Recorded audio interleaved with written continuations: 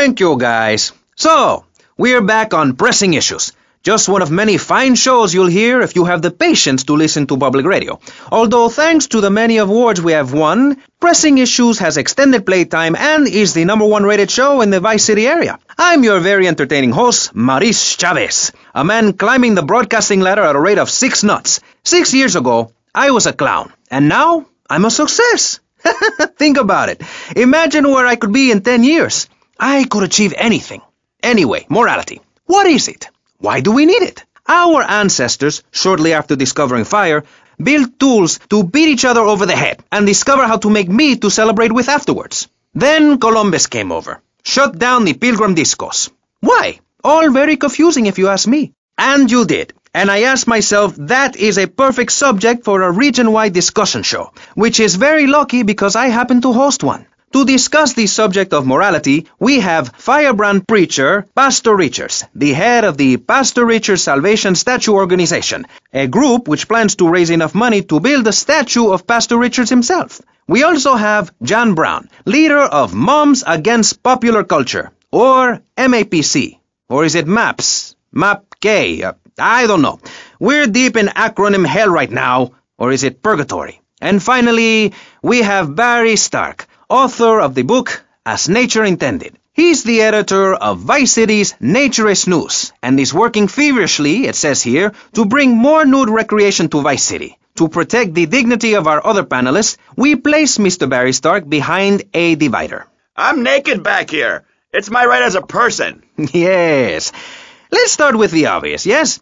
Is it moral to be naked? Yes! You can't stop me. Well, I'm a mother, so I have to deal with this issue every day. My adorable kids have learned that it's wrong to be naked. When it's bath time, they know to put on a bathing costume. That's that's also the reason there are no mirrors in my house. Nudity leads to bad, naughty things. Maurice, if I may interrupt, I haven't worn clothes since 1982.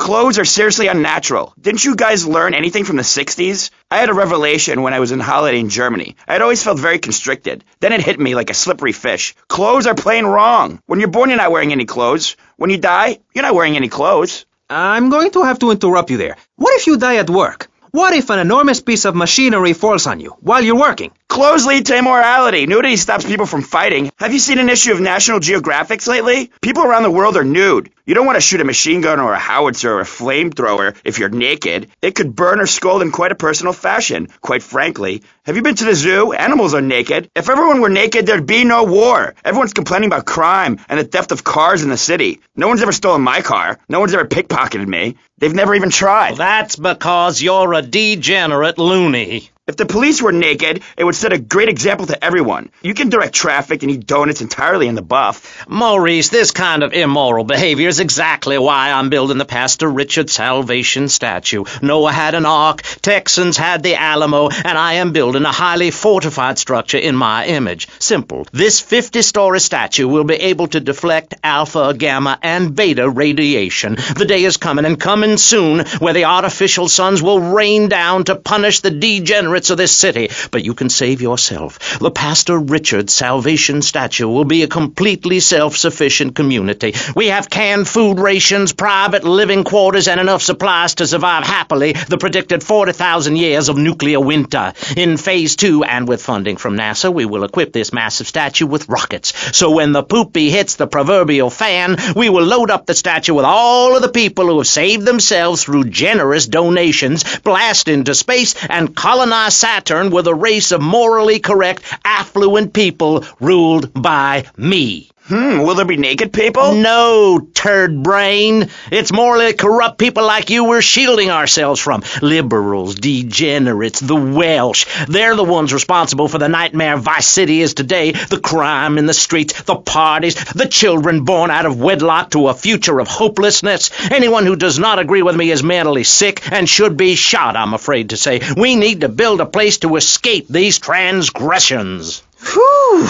that's extreme stuff, Pastor. But we'll leave amateur eugenics for a minute and ask our other panelist. Jan, you're a mom, so you know everything. What is your thought on all this? And do you think Pastor Richards stole his ideas from a movie or book? Well, yes, I am a mom. My kids are very special. So special, they go to special classes.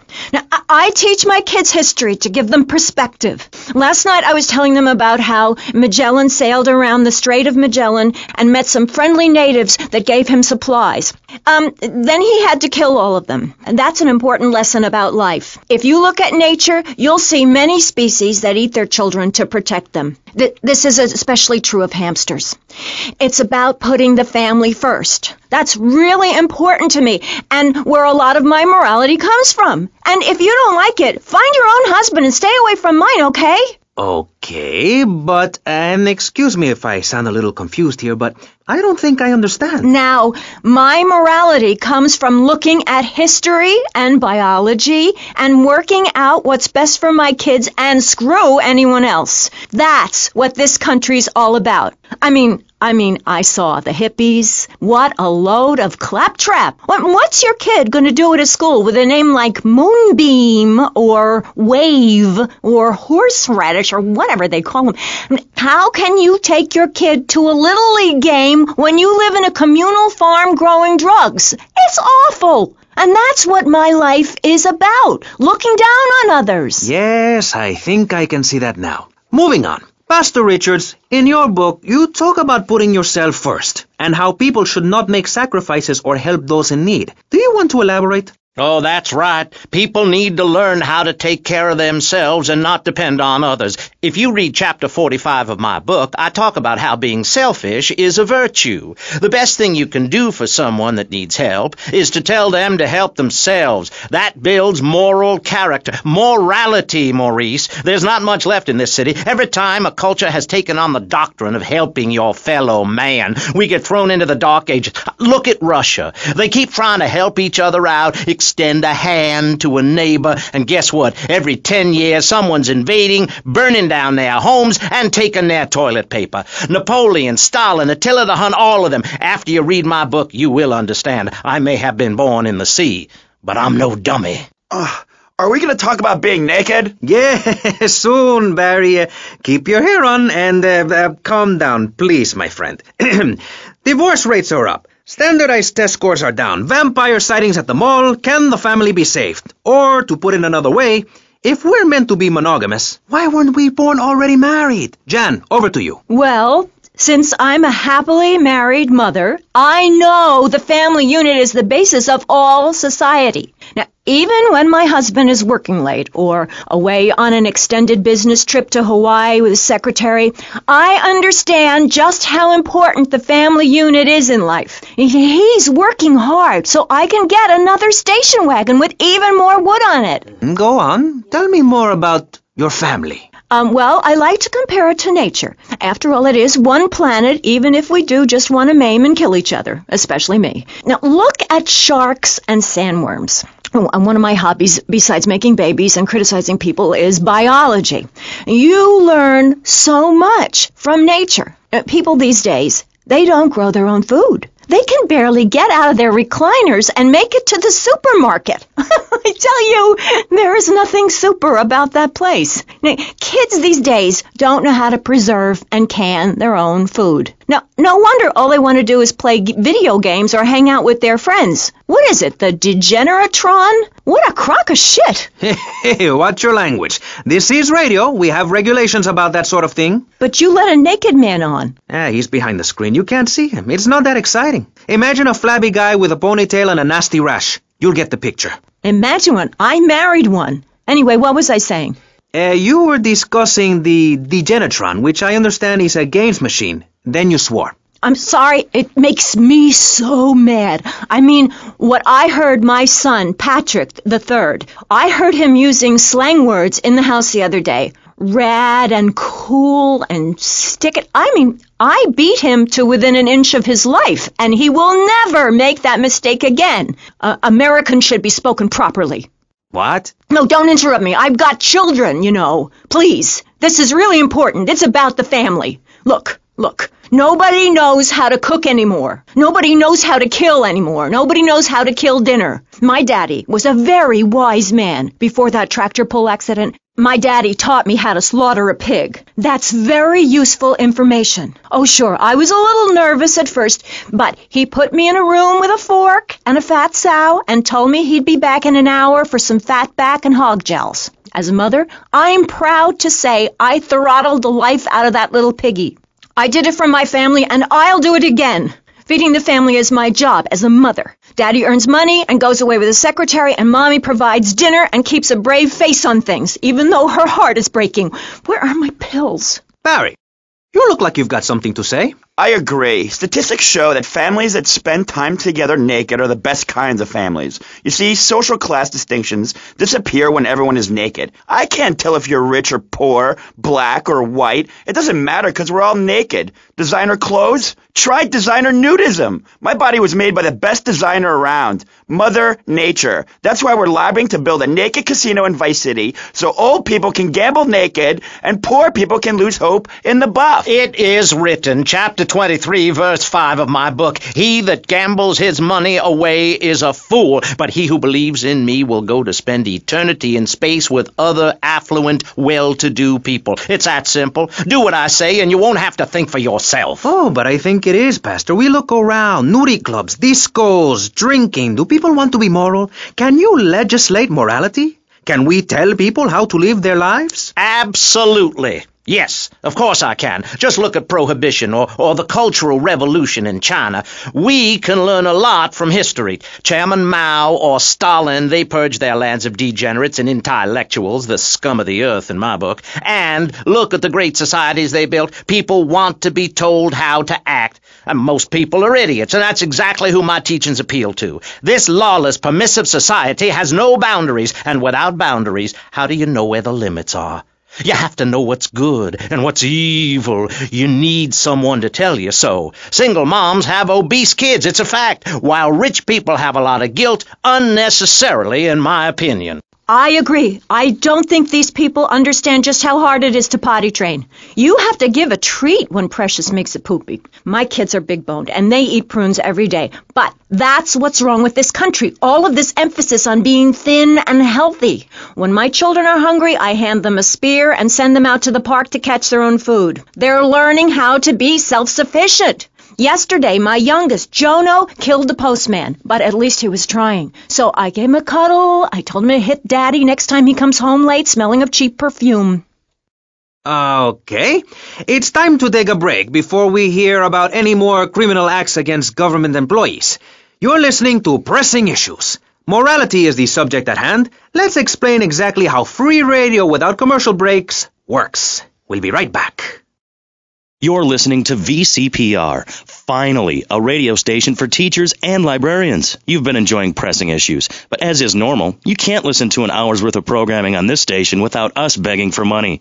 It's the bi daily begathon here on VCPR, where we hold your favorite shows hostage until you pony up some cash. You know what's so great about VCPR? It's like a shining torch of cultural enlightenment for Vice City. In these times of darkness, when the hordes are so uneducated they can barely understand multisyllabic phrases like, clean my shoes better, Marissa, or I'll report you to the IRS, or dialectical materialism. Isn't it pleasant to have a patronizing voice on the radio? That's right, Michelle. With the way things are going under Reagan, at any moment the unwashed Huns from the Midwest could descend upon Vice City and enslave the poets and postal workers and force us to watch network programming. That is a frightening thought. But like many things in life, you can throw money at something and feel better about yourself. VCPR is your public radio station, but you have to open your wallets. That's right. If you pledge at the $1,000 level, you'll get tickets for In the Future There Will Be Robots at the Vice City Arts Center. People who see that show say it's difficult to put into English.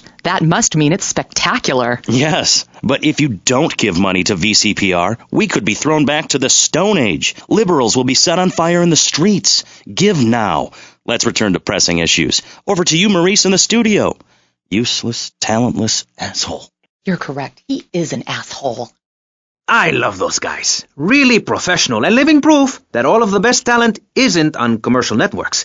These people do it for love, because they have integrity, just like me. We're back with pressing issues. I'm Maurice Chavez, winner of five public radio awards in the Vice City area, including Best Voice. On this show, we take complex issues and boil them down to simple ones so you can understand.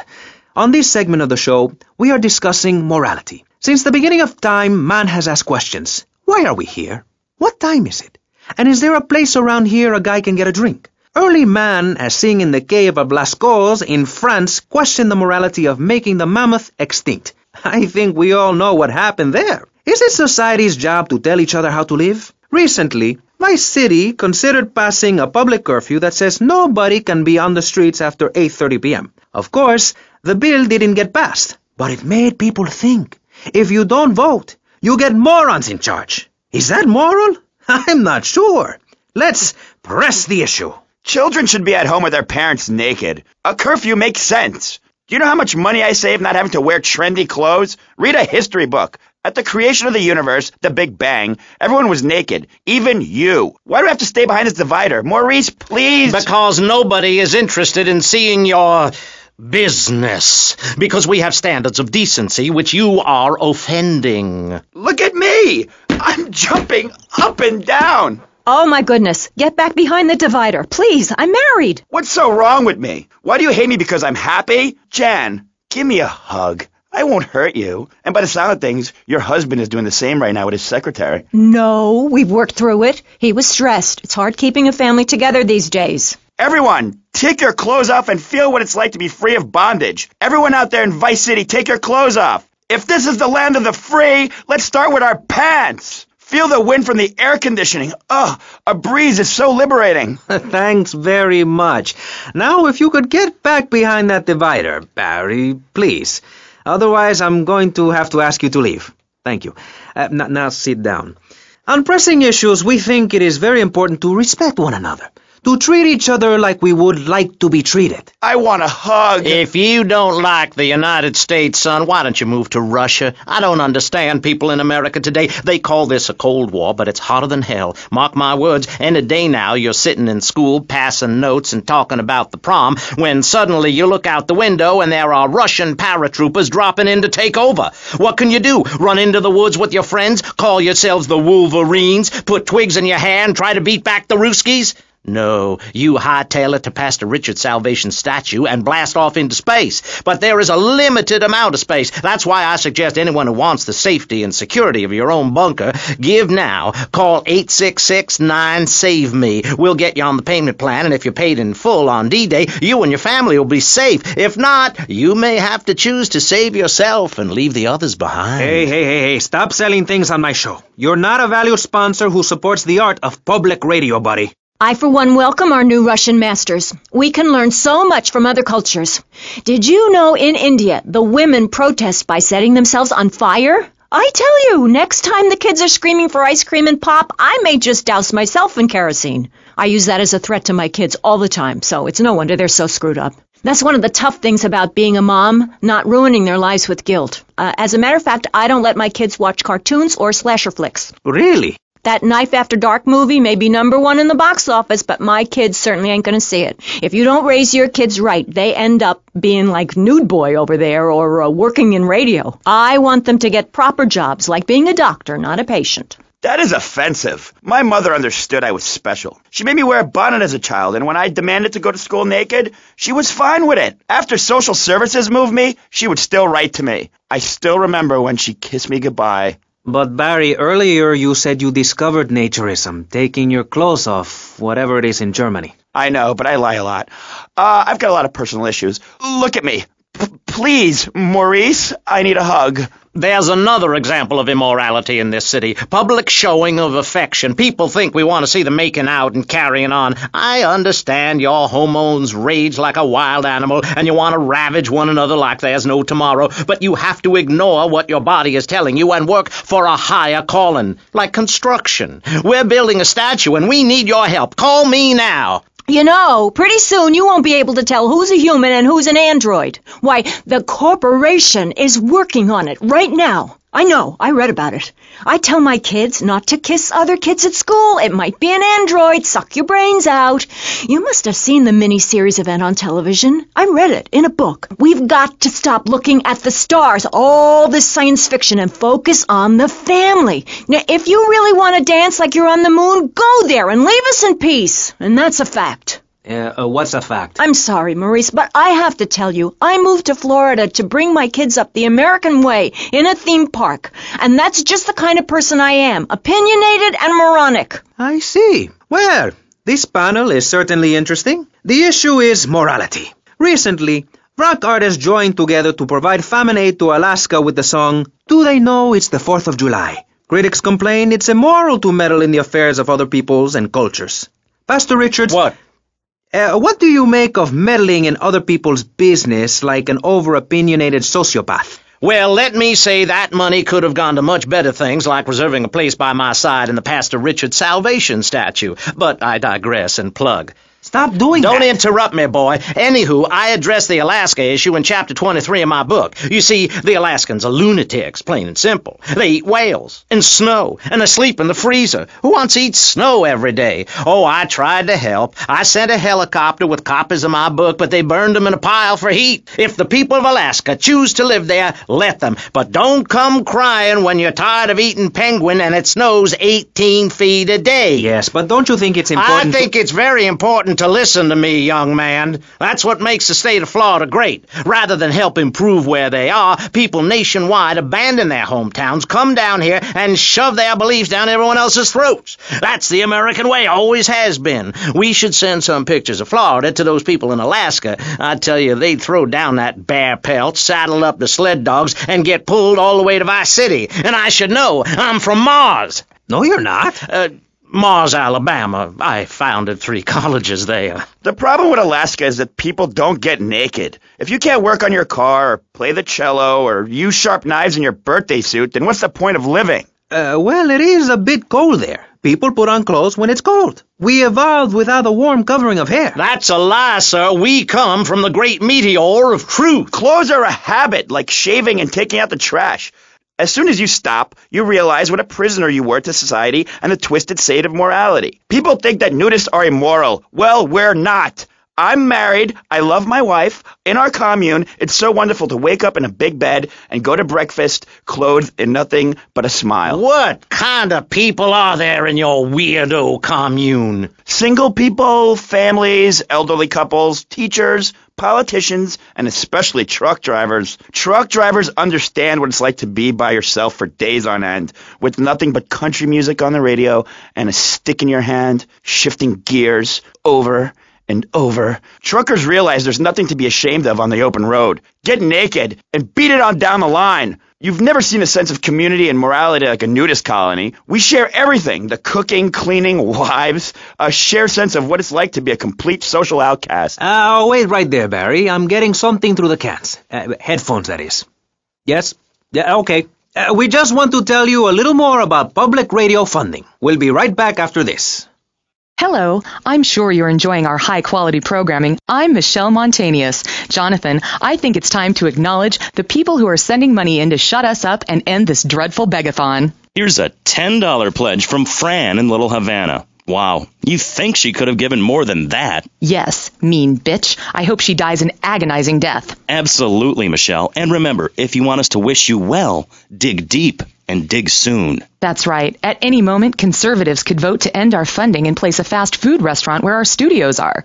See, there are some people that think everything has to make money. It doesn't. That's why you should give now. Correct. Next week is Environmental Week, sponsored by Maibatsu and the Vice City Power Corporation. And next month, we're celebrating Proust's influence on Vice City in association with the Degenatron. But for now, let's return to pressing issues. Remember, VCPR is an advertising free zone, much like the moon or Times Square. Welcome back. The show is Pressing Issues. The subject is morality. I'm Maurice Chavez. Let's carry on pressing the issue. Now, when the Europeans were done ruining their continent with bland food and soccer riots and arrived in the Americas in the late 15th century, the subject soon turned to morality. You see, Europeans wanted to colonize America, so they had somebody to make fun of. The Pilgrims left England for the religious freedom in Holland, where they visited coffee shops, and after they packed up their ships with plenty of coffee, tea, and cakes to liven up the trip, they set sail for the New World, which they heard had a magnificent roller coaster.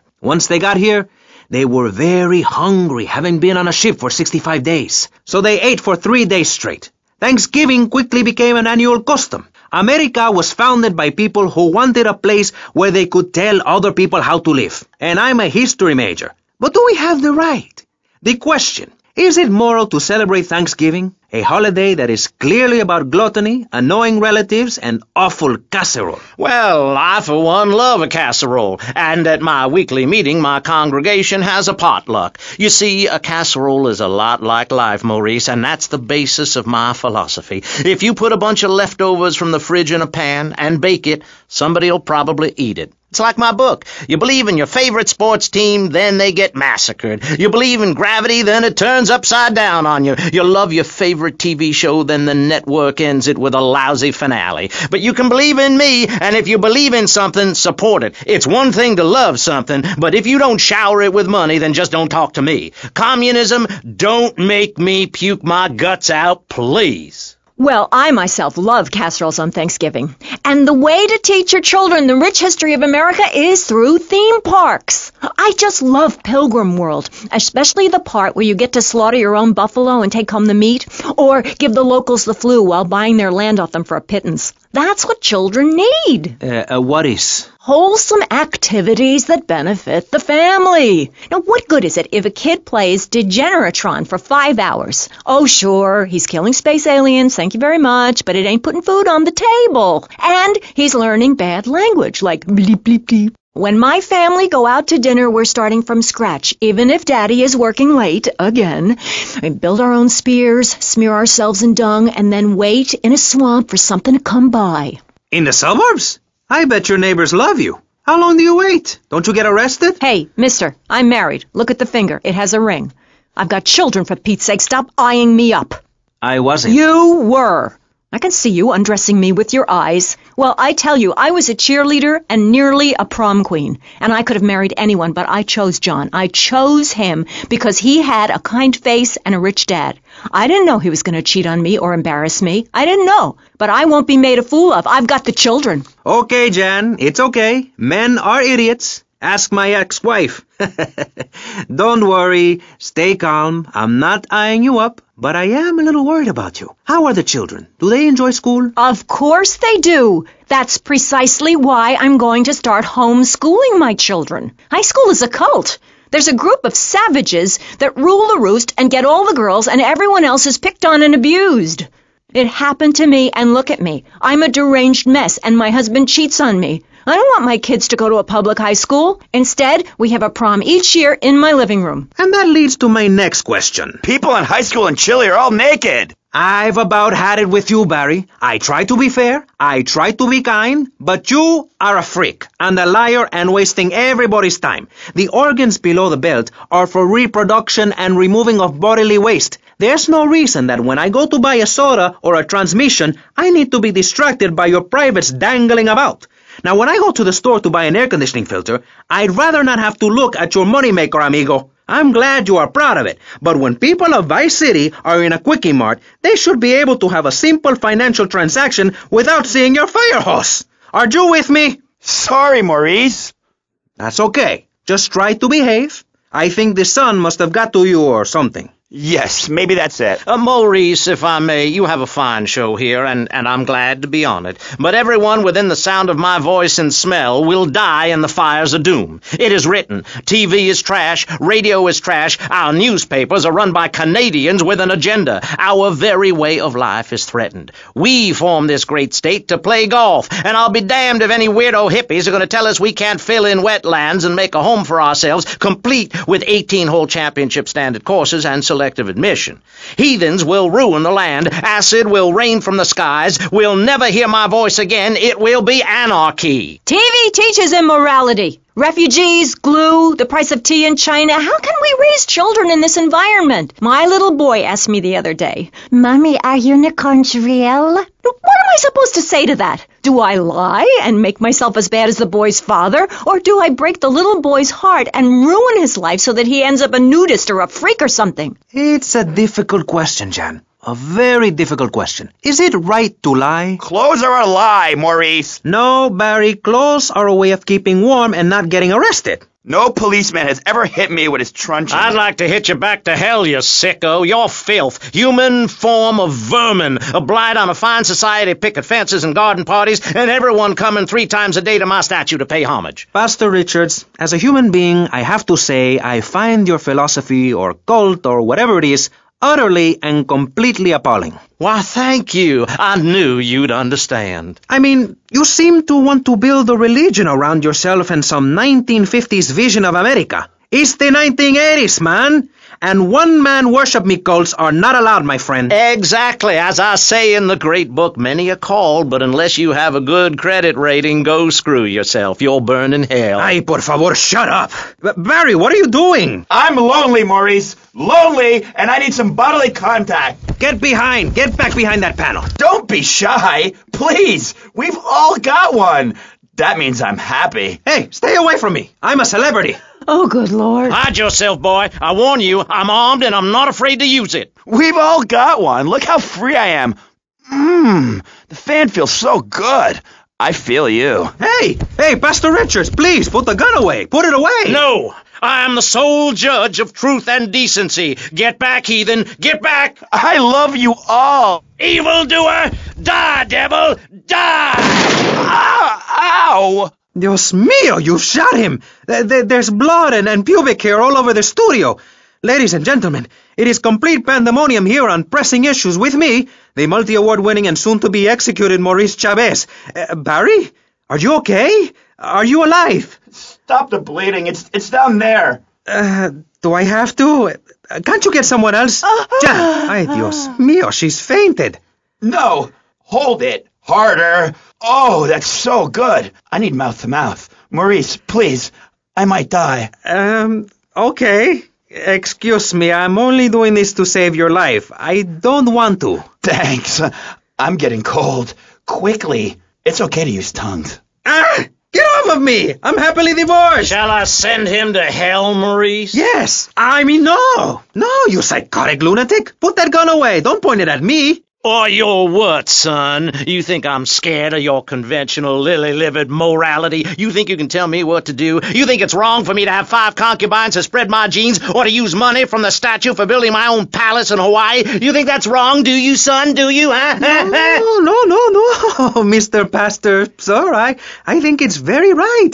Very right indeed. You're the boss. You're in charge. You're the king. Damn right I am. Now I'll tell you about morality. Morality is what I say is right, and immorality is what I say is wrong. You gotta understand this. oh, uh, I do. Oh, I'm bleeding. I need a proctologist. Shut it. Now, next question. Ask me anything. Ask me anything you want to, Yeah, well. I'd love to, but it seems that that is about all we have time for, actually. The thing is, you see, this is public radio, and every once in a while we need to appeal for money, or cut away when people start brandishing guns in the studio, like this. You're on Pressing Issues, and in this show we discussed morality. I think we made a lot of progress and really came together. I'm Maurice Chavez. Bye. Uh, please don't kill me. I hope you were enjoying pressing issues. I certainly was. Yes, it's almost as interesting as listening to you, Jonathan. wow. Thanks, Michelle. It is, isn't it? Before we let you get back to the show, I thought you'd like to know VCPR has managed to raise $30 this hour, which should keep us on the air for another 15 minutes at least. Thankfully, due to the generosity of the people at DeLeo and Furax, the fascinating show Legal Review will still run. But now, back to the pressing issues. Actually, before we let you get back to the show, I'd like to say something. I know that public radio may not seem very important in an era of poverty and famine and immense personal greed, but I can assure you it is. And not just because I say so. Look at the facts. 15 of the last 37 American presidents and 47 vice presidents have appeared on VCPR in the last month. 33% of all Nobel Prize winners started out in public radio. Without public radio, we would never have discovered gravity, or the pizza, or the fact that a lot of people love to hear themselves rattle. Anyway, Sermon over. I hope you folks at home understand how passionate we are about public radio, and it has nothing to do with the fact I got kicked off the networks. That was very moving, Jonathan. Back to pressing issues. Where is the creep? Put him on! Hello. As you may know, you're on VCPR and this is Maurice Chavez. That is, I am Maurice Chavez. That's Chavez, not Chaves or Chavis. This isn't a game show. Sorry about the upbeat opening. This isn't a game show. It's a political and social debate on free radio, without adverts. And I'm still Maurice Chavez. Hi. Next up on Pressing Issues, we tackle one of the most important issues in our country today. The issue of perception. Not credit card fraud. That's deception. But we're talking about perception. How we perceive the world. These are optimistic times we're living in. A time of go-getters and doers. Our hero is the entrepreneur, the shaker and the maker. Positive thinking, we are told, is everything. Think it and we can do it. Or can we? Let's press the issue. Now, personally, some days I wake up and I look out the window and I think it's great to be alive. Other days, like payday or my ex-wife's birthday, I want to hide under the pillows and cry. But that's me, a man of contradictions, as my therapist said. He was a Jungian. But whatever.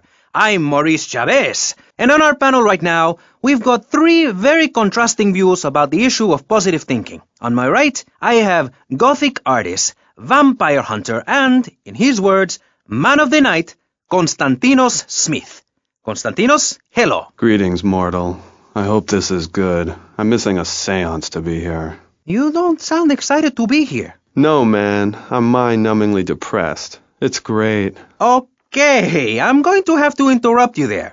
And on the left, I have positive thinker extraordinaire, a man who dragged himself up from the gutter, Jeremy Robard. Hey, the ghetto, not the gutter. I didn't live in the gutter. I lived in the ghetto. I'm a survivor, not vermin. I'm from the streets. Okay. Hey, I can teach you how to be a survivor too. All of you. I can help everyone. I've got what they call a gift for communications. I can help you all realize that gift. Make something of yourselves. Realize your dreams. I'm like a high school counselor. I'll show you your potential. It's easy. All you have to do is follow my simple program on audio cassette or VHS. Oh, okay, okay, not right now. This isn't a commercial. And if you're not going to underwrite the station, I can't let you read these blatant plugs. People pay for that. Hey, everything in life is an opportunity. When I was in jail, I got the idea for my current business. And look at me now. I got offices in Vice City, Bogota, Lebanese, and Jamaica. If I can do it, I can help you make something of yourself. You could be just like me, a success. Enough, enough, no more. Not a word from you until you are called upon again. It's a three-stage process. Learn, start, doing. Eh, shut up! I- I'm warning you, this is my show. You shut your mouth. Shut it now and keep it shut. Do not push me, you shiny suited prick. Do not push me. Hey, you have to dress to impress. I cover that in my program. People make judgments on who you are based on your appearance. Scientists say we form 98% of our opinions on a person in the first day half second we meet them. Hey, and if scientists say it, it must be true. I teach you how to live that. Enough! This is pressing issues. Enough now, okay? Enough, please, no more. Okay, my last panelist is someone without a plan to sell, without a program, but with a beautiful message. So it says here. Vice City Civilian of the Year for 1985, Jenny Louise Crabb. Hi, Maurice. This is such a lovely studio. Thanks. How are you doing? Great, great. In fact, I'm fantastic. Did you see the sunrise this morning? It was gorgeous. I've been smiling all day ever since. Okay. Now let's get with the policy of ladies first. And since you seem to be the most pleasant person here, Jenny, let's start with you. You seem like a very happy person. oh, I am. Really? Why? well, life's great, isn't it?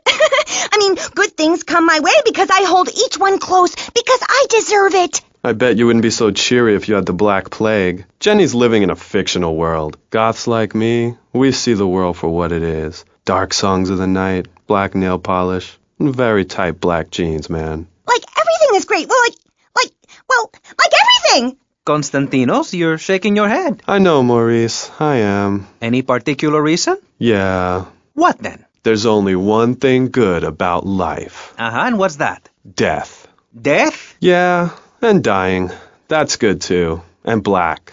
And the moon. At least when you're dead, you can go around as an astral body and visit places like New Orleans. I love New Orleans. It's really hot and depressing. Oh, death is good. Is it? Yeah. What? I- i- If you're going to inherit a lot of money? Yeah, no, I mean, yes, but also if you can be positive and upbeat about things. I mean, like my parents were brutally murdered a few years ago. Yeah, and I was really bothered, but I kept smiling and I got a lot out of it. I'm a much better person today having dealt with that. They were killed so I could have a great personal experience, and I see that now. Lucky bastards. I wish someone would kill me. Then I can hang out in a graveyard all the time instead of just on weekends.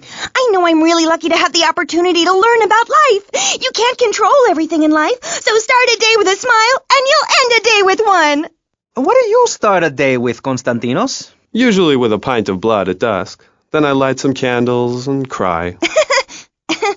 Okay, moving on before we're all sick. No, Maurice, I do, because I won't be constrained by you. Life is cheap, man, and then you die. If you prepare for the afterlife now, you will be able to summon spirits. That's the truth of the pentagram, man. How profound. You've obviously got a lot of important things to tell the world. The world is a lie, man. Only darkness is truth. I am very much like Vlad Dracul, born in Sighisoara, 1431.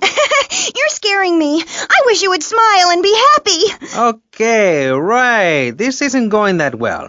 Uh, look, um, Hey, can I say something? No, I'm still pissed off with you, you shoulder pad wearing shyster. Hey, hey, hey! Back down, Buster, before I bust your balls. No confrontation. As they say in the movies, I'm a man of peace. I'm done killing. Work with me. What do you want? A broken nose? Some speed in your eye? You're pushing me, man. I'm Maurice Chavez. I know who you are. You used to be a clown. I saw you at a bar mitzvah once. You had a great act. What, did you get tired of kids kicking you in the shin? Still, you were a first-class talent. I was? Yes, yes, great. But you lacked something. I did? Yeah, confidence, friend, confidence. You were all shot up with nerves. I'd like to be all shot up with embalming fluid. That can be arranged. We're talking about me, not Mr. Constantino Smith. Yes, confidence. It's where it all begins. Positive thinking. What are we talking about today, Maurice? I forget. Morality or no, violence. Uh, no. That nutty guy without any clothes. Yes, you're right.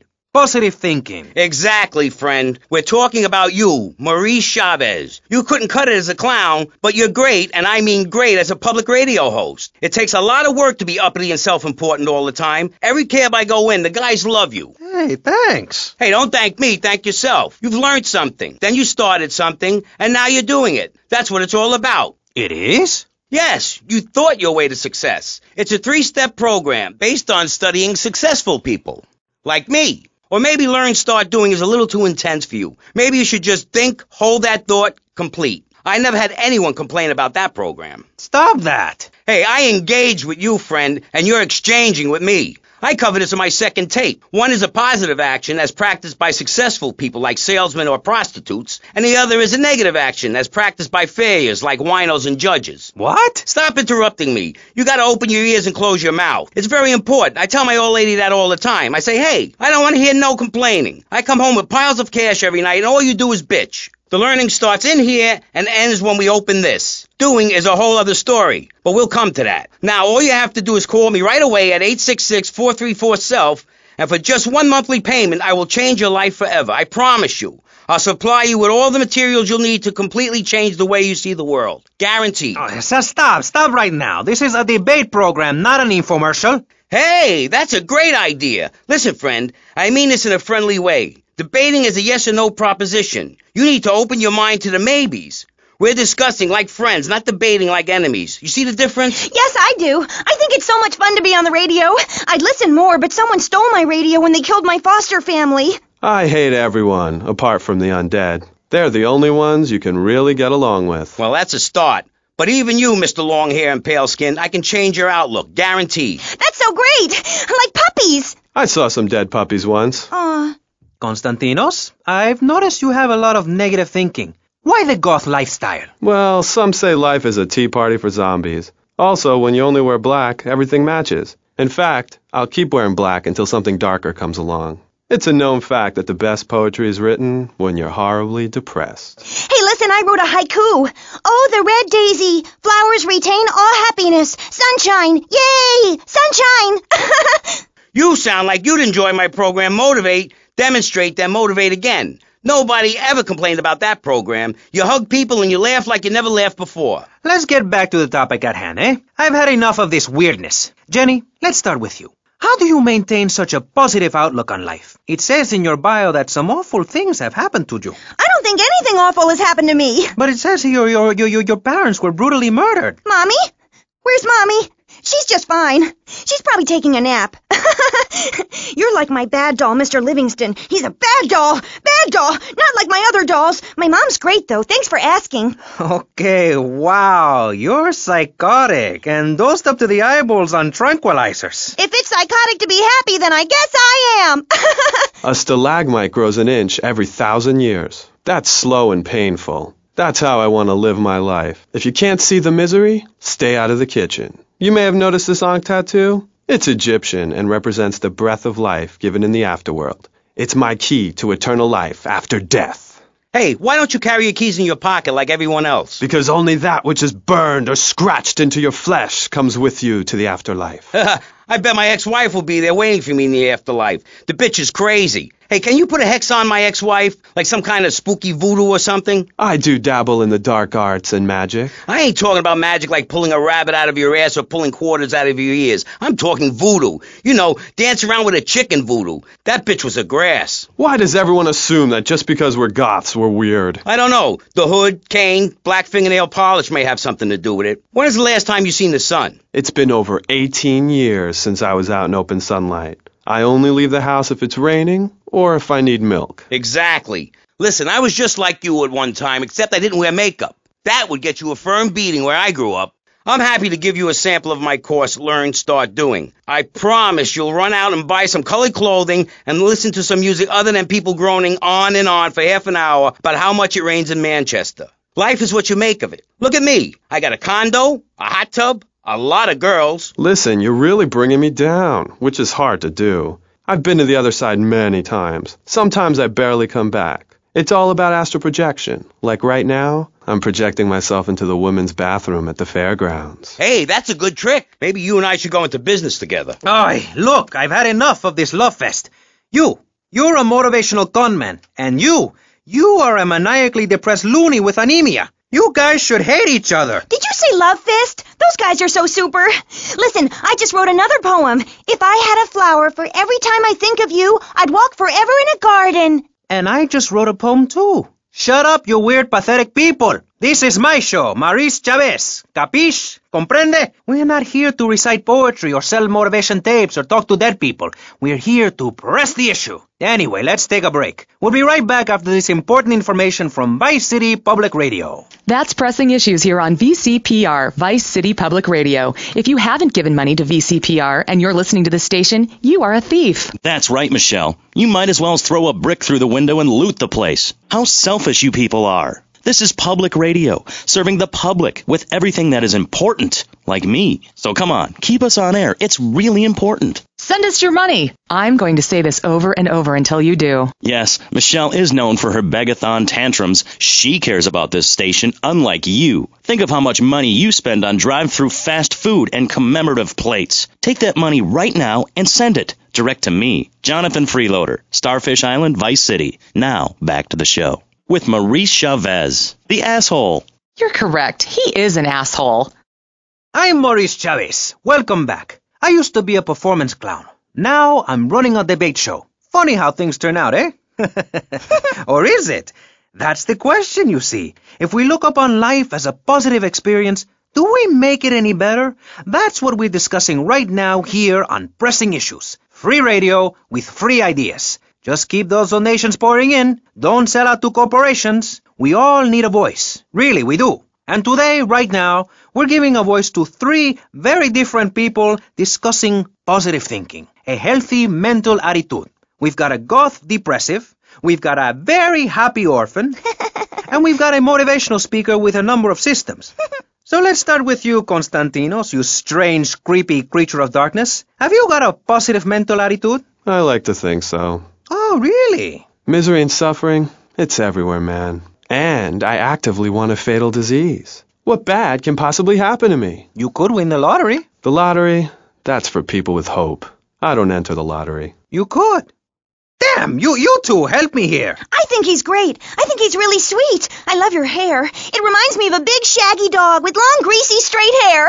You know, Chavez, this weird goth guy, he's got a point. I mean, in many ways, what he's talking about is covered in my three step program, Tape 17 Motivate, Demonstrate, then Motivate Again, Part 9 Facing Home Truths. You see, we all have to face up to a few home truths. I'll never be prom queen. Jenny will never have her parents. You'll never make it in the entertainment business. It's about realistic goals. I can change your life. Uh, just a second, Robard. What isn't covered in your three-step program? What don't you talk about in your Library of Congress-sized tape cassette library? Whatever we talk about, grief, goths, depression, changing lives. Who are you? What have you done that's so great? You wear a cheap suit. Your hair is stuck rigid with spray. Your breath stinks of whiskey. Uh, you, you look like you sell drugs to people. You're a joke, buddy, a bad joke. Oh, now this is getting personal. I come on your cheap ass show, I spare my valuable time, I cancel several important speaking engagements, I talk to thousands of VIPs in order to spread a message of hope. And this is how I get treated.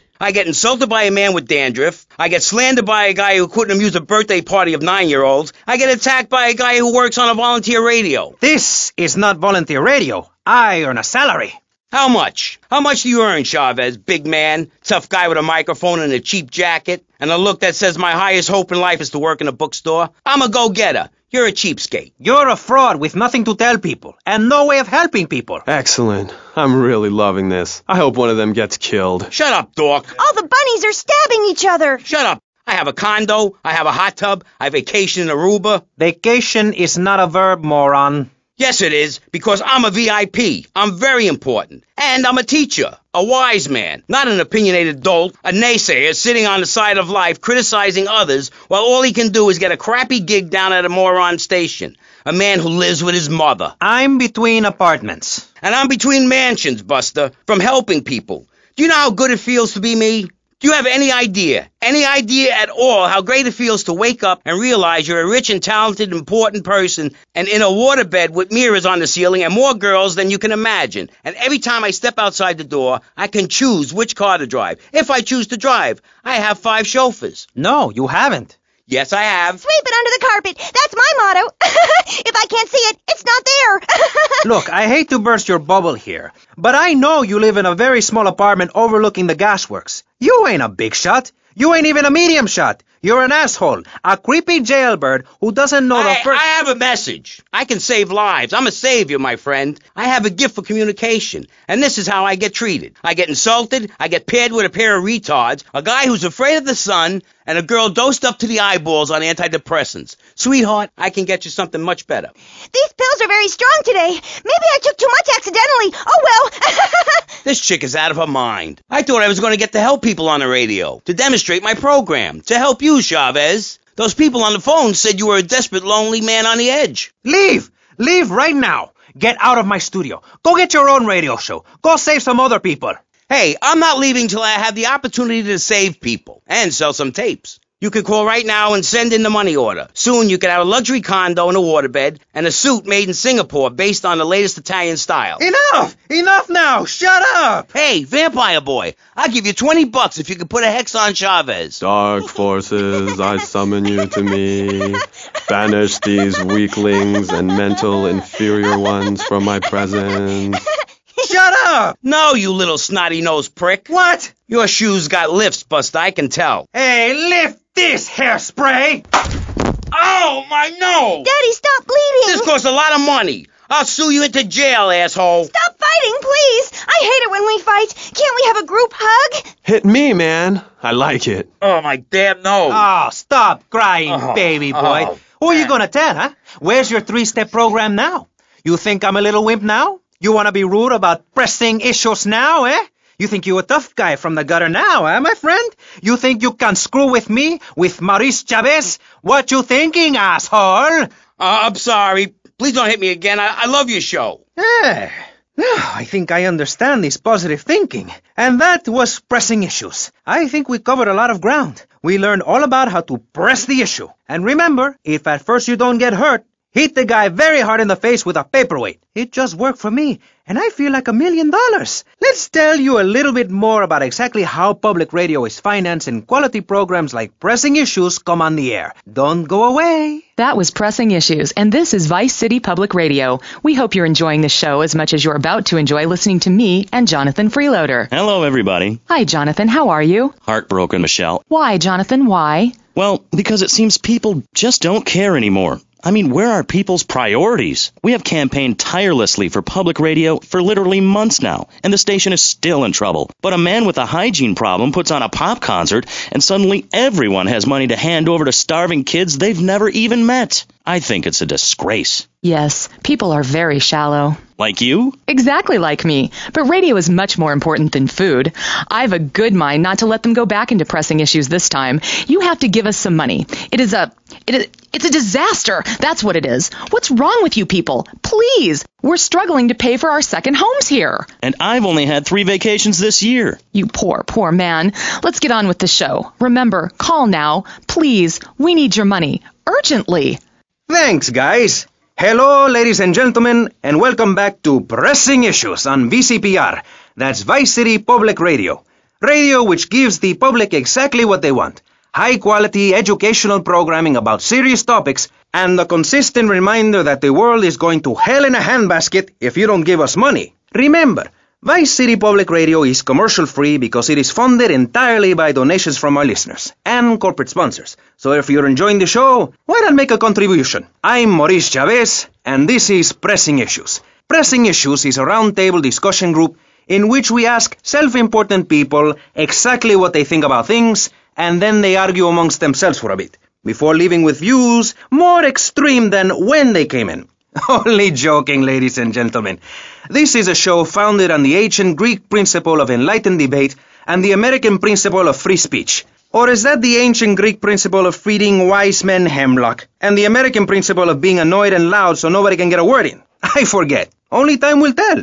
Now, the subject we are discussing right now on pressing issues with me, Maurice Chavez, for your enlightenment and enjoyment is a very serious one. Public safety. In case you haven't noticed, Vice City is not a very safe place. These are troubled times. We are a troubled people. Some would say we are a people at war with ourselves. Others would say we are at war with reality. Those who live in other countries and strive to own our fast food restaurants and quickie marts would say we are a bloodthirsty bunch of crazies who let children buy guns from the supermarkets. Another opinion is that it is the fault of society, that, as Plato said, people don't mean to kill each other. It happens because they are poor or desperate or really thirsty or in need of a vacation or something. Another view is that we are all a little confused and really should stay at home, lock the doors, and forget about everything as quickly as possible. So, let's press the issue, eh?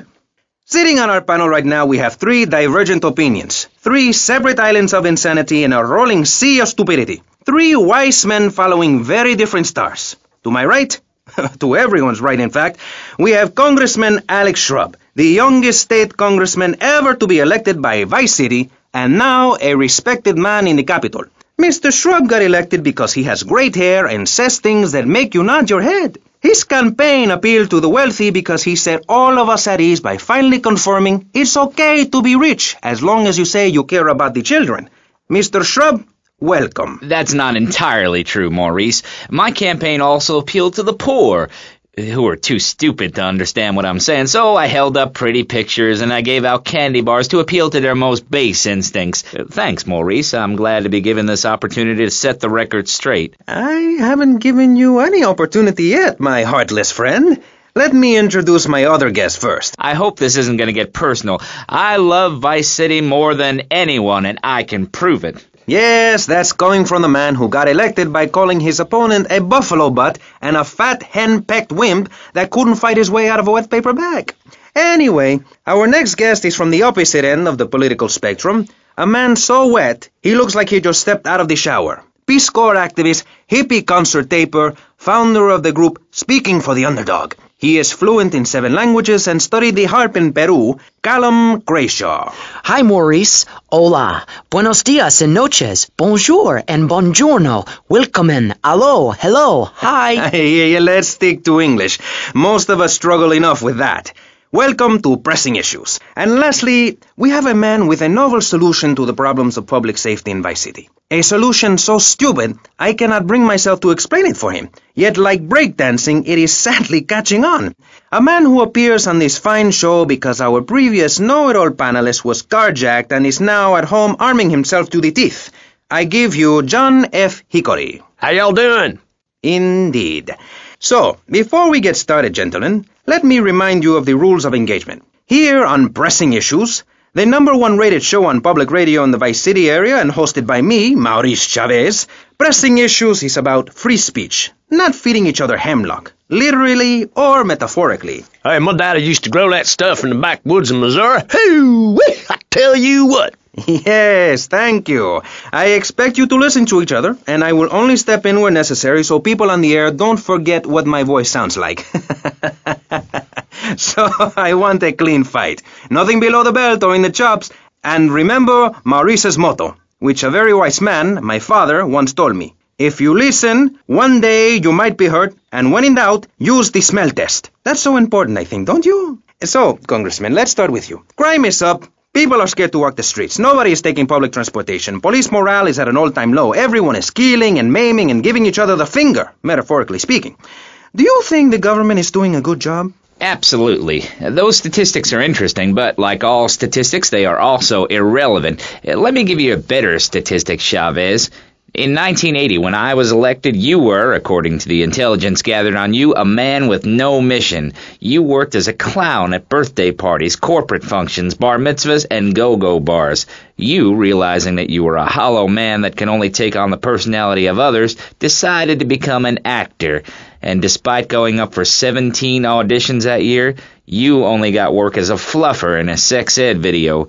Your tax returns show that you earn less than $2,000. Suffering from anxiety, you attended group therapy for a year and considered getting a sex change. An idiot liberal felt sorry for you, and now you host your own radio show, write a newspaper column that lines my birdcage. You've got an ex-wife and attractive girlfriend, although she's married to your best friend, and you're on top of the world.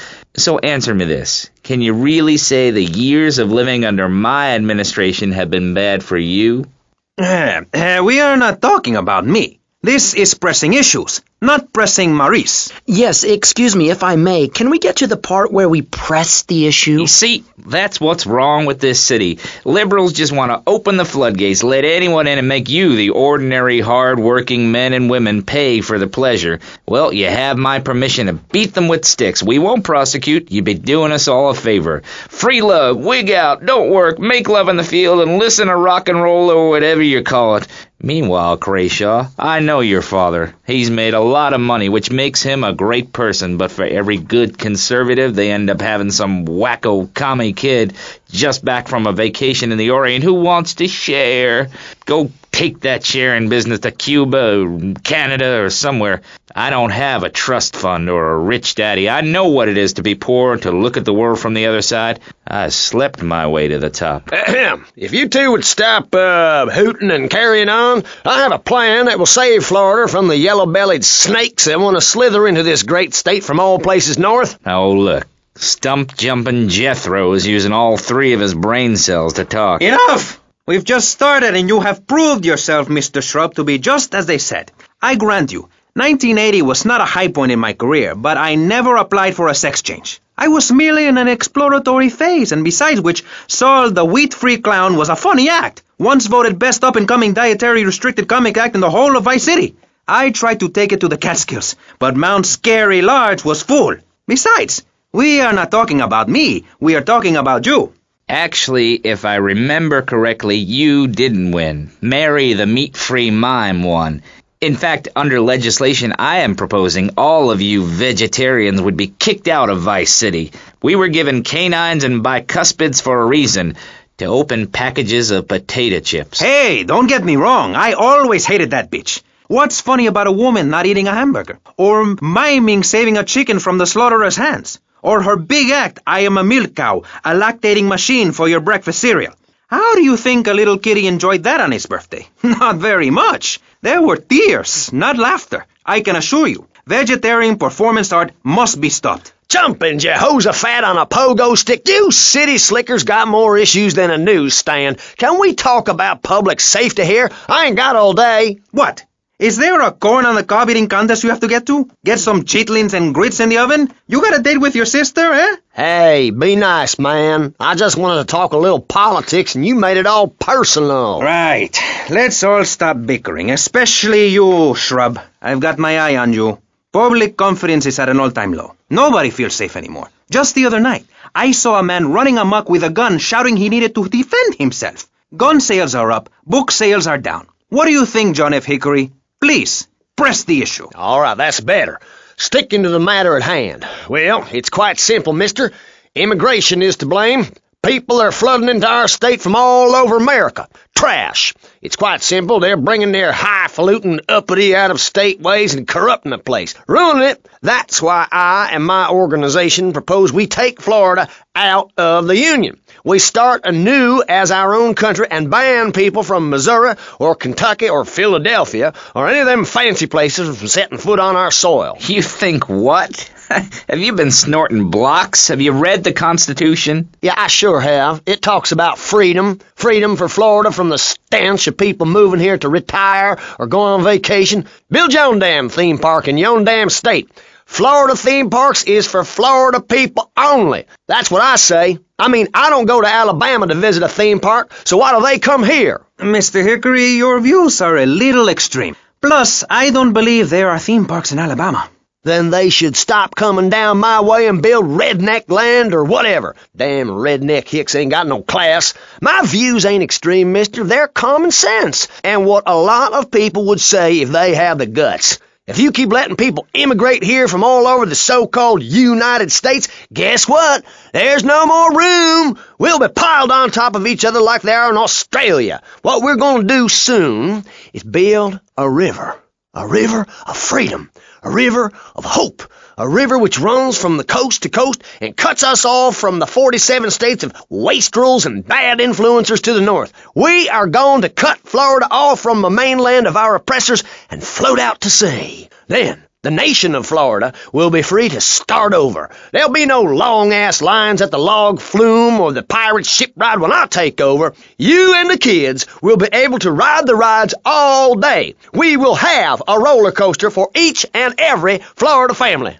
You know, you're bordering on treason. What you are saying is a very naughty thing, and only because here on Pressing Issues do we believe so wholeheartedly in free speech are we allowing it. It's the truth, my friend, the damn truth. And before you start, I am not a racist.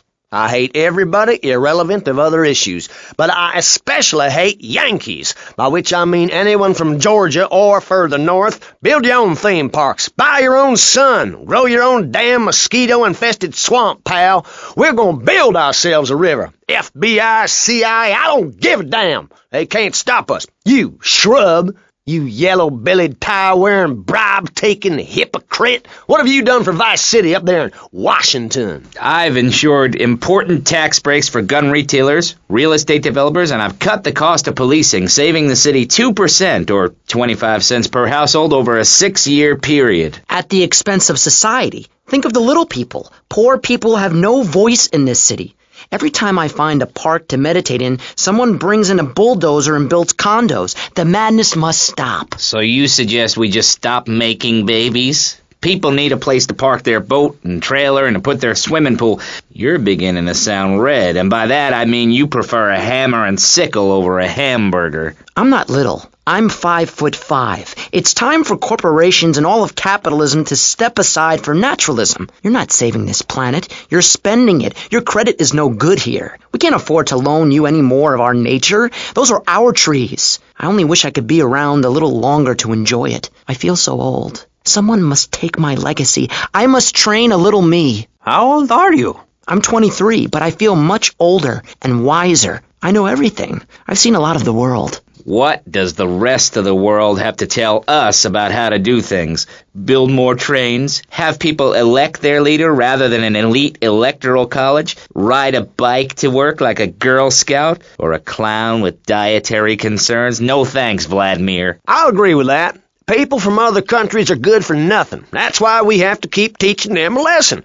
I tell you what makes a real man. A truck to pull stuff and a couch to think on. I'll tell you. Speaking as a sensualist, and by that I mean a very narrow-minded, id-centered man of peace and travel. I recently went to Europe. I think everyone should see it for a week. You really see what's wrong with this country when you visit a European utopia. Things like a journey, public transportation, healthcare, leather shorts, mustaches. When I went to Belize, I helped some villagers clear some land for an environmentally friendly coal mine. We've all got to make some sacrifices if we're going to get anywhere. My dad gave me the money to set up an exciting trust there. But how does that help the people in Vice City from worrying about whether they are going to get robbed? What drives a man to just take? What we need are more after school sports like choir or drama so people can learn to express themselves properly by singing or pretending to be a tree. Have you ever heard a whale sing?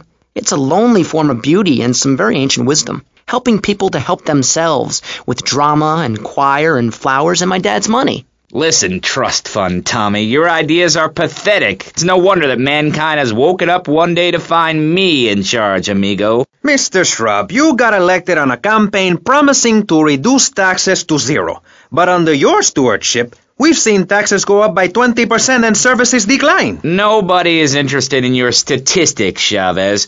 Let me tell you something, pal. I'm better than that. I will not, I shall not, I cannot stoop to your level. They assured me this was a show that understood politics, where we could debate things mano a mano. And I find myself having statistics hurled at me like so much stale confetti. We cannot boil people down to numbers. You have no idea, my friend, what it takes to serve, the sacrifices I've made to help my country, to help Vice City, the complexity of government, the, the hideousness of my wife, and the way her thighs grow like our national debt. Oh, oh, sure, some people like that, but not me. It's a nightmare, my friend, and, and I have it thrown back at me by an ingrate like you. I could scarcely get up in the morning. And with that outrageous revelation, let's take a quick break to tell you something very informative. You're listening to Pressing Issues on Vice City Public Radio. Over to you, Jonathan. Hello and welcome back. I'm Jonathan Freeloader and you're listening to VCPR. This portion of Pressing Issues is brought to you by Ammu-Nation, a proud supporter of public radio and our community. We hope you're enjoying Pressing Issues and the way it challenges your view of society. Unfortunately, public radio in Vice City is under pressure. That's because we're better than everyone. You can't hear this kind of hard hitting, long drawn out programming anywhere else. But you have to give money. That's right, Jonathan. Money is important. It can be exchanged for goods and services, like getting a hip replacement or funding a starving child in Australia. I feel all covered with flies right now. Call us, pledge your money, give 10% of your income. That's all we ask. And for that, you know everyone can be educated on the important things we discuss on VCPR. 10% is a really small amount. I remember when I was volunteering in Central America, to make myself appear less shallow, the native peoples would give you 10% of their land for a pair of mirrored sunglasses. And they would run around me saying chicle, chicle, which is Espanol for pretty woman. It was very spiritual, like waves. Absolutely. But remember, this radio station could disappear. The voice of unprofitable radio could be silenced. One day you wake up, roll over, and she's gone. You go into the kitchen, there's a note scrawled, the sound of a taxi leaving in the distance, a thunderstorm rolls in. It's a metaphor for my haircut or this pledge drive. Yes, the pledge drive. Become a member. Only members or people with radios can listen to this radio station. Now back to pressing issues. Shouldn't we give out the phone number? Like I tell the children at the library I volunteer at, look it up yourself. No, you can't go to the bathroom and stop crying. That's good advice. Now, back to pressing issues. Welcome back to Pressing Issues with me, Maurice Chavez. On our panel, we got the secessionist lunatic John F. Hickory, liberal rich kid Callum Crayshaw, and neo-fascist congressman Alex Shrub. Gentlemen, welcome back. Let's start with you, Mr. Hickory. Why the F? For Florida. I'm a patriot. I've even got an orange grove tattooed all over my groin. Excellent. But back to the matter at hand. Public safety. How do we get guns under control in this city? By giving everyone hope, a dream of a better tomorrow, by encouraging people to grow their own root vegetables. What's the satisfaction of holding a gun in your hand when you could be holding a hoe, planting seeds in a peasant village? Keep your hoes and seeds to yourself. We don't need gun control. If you read the Constitution, it's a sacred document that should not be changed. Under our Constitution, women couldn't vote, but the liberals come in crying crocodile tears. We need to get scaremongers and non-believers men like you, Chavez, under control. I've got a good mind to have your funding removed. We don't get any funding. Yeah, exactly. Well, good. you won't see a penny out of me. You've got to stop spreading these lies or I'll whip you myself. I'm not afraid. The Constitution asserts a man's right to bear arms uh, and arm bears and all points in between. Whoever heard of a gun or a bear causing problems? This is all cocky pop or whatever that word is. It keeps the place safe. Trouble is caused by unemployment, and unemployment comes from poor economic performance and lazy people. If you had a job, would you steal a car? Of course not. And if you had a high-rise condo, a mistress, and a seat on the board, would you run around graffitiing your name all over town and making a nuisance of yourself, spinning on your back and popping and locking and... Not a hope. It's simple. If you don't have a job, starve. Get out of my constituency, by force if necessary, and starve. That is quite simple. Are you really saying that? Of course I am. Vice City is a growing city. Of course, there are going to be some growing pains, Well, what I tell people is this. Gather up your life savings, buy yourself a piece of swamp, drain it, and get rid of the damn wildlife. Then apply for planning permission. Pretty soon you could have your own retirement community or resort destination holiday place. You can start making money out of the boom, the shrub-inspired boom, and enjoy the kind of things sensible people have. Personal bodyguards, massive fences, and a bigger collection of guns than the other guy. It stands to reason. No, no, no, no. Keep them out of here. We do not want any more old folks. If there are any old people listening, go back to your homes. Florida does not want you. Please, die somewhere else. What's wrong with Nevada or Kansas? We want a river. We need a river. The Freedom River. And what about the other crimes? It seems car crime, fashion crime, drugs, everything is on the rise. Absolutely. Of course it is. When I was in Uganda, people were poor, but they were happy. The more you have, the less you have. And that's kind of what I'm all about. There's satisfaction in spending all day weaving a basket rather than just buying one at the store. At one point in Uganda, I saw a great lake of sand and a massive speaking dog. It was a dog of love, not of hate. It was a spirit journey. What are you talking about? I'm talking about hopes, dreams, the magic of television, especially public television. Puppets can say what men cannot. Yes, but how will that stop people taking baseball bats and pounding the living crap out of each other as I saw in a Mother's PTA group meeting recently? Baseball is our national sport, our national pastime, joining together as men in order to reward the act of running around in a circle. I will thank you not to take its name in vain, Chavez. I hate that spring training. Who do those guys think they are, coming here and getting in the way, showing us no respect, drinking our orange juice and seducing our women folk? Training your own home, mister. Our national game down here, my friend, is digging. Digging a big ditch, a ditch of hope which will flood into a river of freedom.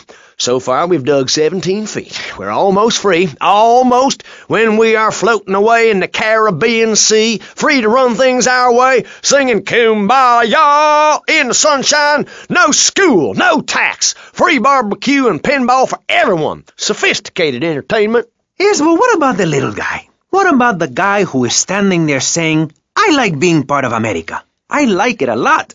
I get public radio. I can hear Maurice Chavez. I own a small one-bedroom home, a business selling flowers to people stuck in traffic, three or four radios, all turned on to VCPR, a dog, 15 ice cubes. But I don't feel safe. I'm worried about gangs. Gangs are a myth put out by the liberal elite to patronize and demean the working man. I mean, what kind of right-minded youth from a poorer background is going to spend his time stealing things and posing in silly clothes when he could be getting ahead with a minimum wage job and making his parent proud? The dream of America is to live in a duplex and share a yard. Why would anyone want to threaten that great future?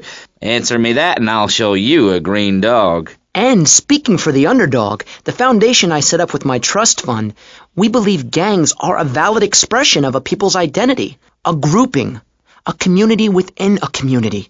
Gangs are a way to be noticed in the boxy suburbs. You scream out. Rather than urinate at the edge of your camp like a proud native, we spray paint our names on the walls of the mall to ward off predators. And that's supposed to terrify people? No, no. We believe passionately in nonviolent solutions to life's problems. Gangs have to learn to love, to be inclusionary. We'd award badges to good gangs and give bad gangs a silly hat to wear. It would give people something to feel a part of. Kill with kindness, not a garden tool. Yes, but what about the guy getting beaten up on the street? Or the man having his motorcycle stolen? What about him? Or her. Some of the best bikers are really women. Anyone can join our group. This is about poor people getting together. But your father owns half of Florida. How are you part of the working class? Like I said, possessions are not important at all. I'll pick up a hitchhiker in my convertible any day. The other day I picked up a young woman and we discussed a non-violent solution to war. We called it peace. Your father is a great man. He's done more for the arms trade in this state than anyone else, myself included. And you shame him with the socialist jiggery pokery hootenanny. America needs hope, not songs that are supposed to send food to the poor. Songs will get you nowhere. This country needs something to aim for, like being rich and laughing at poor people, or being in government and laughing at the electorate. Now, now, Mr. Shrub, let's not make this personal. I appreciate your attempt to press the point, but we are here to press the issue. My city is in trouble and I think we're not really providing any serious solutions. So far, we've got secessionism, rearing its ugly head for the first time in a century and a half. We've got ignore it, and we've got give everyone a flower. You're all a, a little unrealistic, yes? Nah, excuse come on now. I could just have one there, my friend. Maurice, Not to say over-opinionated and moronic, Mr. Crayshaw, how do we stop people running amok in the city with machine guns and heavy artillery? you've got to give a man a chance. Prisons are overflowing with wasted potential. Make the guilty men innocent once more. Free them from themselves. How? How on earth do you do that? Well, um, you could let them off. Marvelous. Great. That's a sensible plan. Then they wouldn't be guilty anymore. We've been doing that for years, you idiot. How do you think we'd keep prison costs down? They ain't by magic or cooking the books. We save that for education. But, as in most things, we in government are saving money so that you don't have to. When we spend less money on services, more goes to administration salaries and expenses, which helps make lives a lot less difficult for everybody. It's about sharing. Sharing your taxes out amongst a select few. That's why I worked so hard at school, so I could reap the rewards now. Hmm, I thought you worked hard at school because the other kids laughed at you and called you a square. That, that's a damn lie. They called me wet fart. They called me the bat because my voice didn't break until I was 19. So, Mr. Shrub, I take it you don't believe in regulation. I believe in giving people a chance, not tying them down with lots of needless regulations. The fact is, business is run by moral people who won't do anything illegal or try to get rich quickly. But since you got elected, Vice City has been characterized by a government who cut aid to the poor, offer tax breaks to the rich, and pay people to dump toxic waste near schools. Yes, we've made a lot of progress. And up on Capitol Hill, you were instrumental in pushing through a bill allowing the manufacture and sale of giggle cream, a dessert with potential lethal consequences. Uh, not true. Only 23 people have died, and several of them probably deserved it. So, with people being set such a bad example by big business, how are they supposed to respect each other, to act safely in society? And how are they policed by a demoralized and underfunded police force? Well, I'm afraid that's apparently quite a difficult question, but my solution is easy. I'm going to talk for a long time about a subject not in any way related, and pretty soon people will forget all about it. I'll remind people that I have a great haircut, and that under my stewardship, Vice City has had on average 15% better weather than before, while crime rates only go up if you don't turn the graph upside down. Turn it upside down, and they have halved. Halved! Under me, Alex Shrub. Vote Shrub for president, and you'll have a friendly face in the White House. A man you can trust. A local man who likes golf and laughing and photo opportunities at your store or place of business. Just send me a letter. I'll send you an automated photocopied response. We call it democracy, and that's where the money goes. Now, just a Yo, minute. Don't interrupt. Let me finish. But you're not- And this man won't let me speak. You, Shorty, shut up and let me speak. I'm taller than him, ladies and gentlemen, by at least three inches, which means I'm a lot more respectable looking. Everyone knows politicians lie and steal and cheat, but at least with me in charge, you know I look good and I have a very supercilious manner. Besides which, I've been abroad and I prefer it here because I'm a man of the people. Vote shrub. You'll get richer and you won't feel guilty about it. Enough! We're running out of time, and you completely failed to answer the question. I'm a professional. That's my job. And Mr. Hickory, what about you? All right. These problems are typical of what happens with an open border to the north. The state is filling up with trash. People who can't tell the difference between a swamp and a marsh. Guys who don't know the first thing about the legality of marrying within the family. That's why we need a river. People, I'm telling you, pick up your spades, go into your garden, start digging as deep and as far as you can. Pretty soon the whole state will be flooded and ruined, and then they'll have to leave. We must build a moat to the north or they will come down and ruin this great state. And Mr. Hickory, were you born in Florida?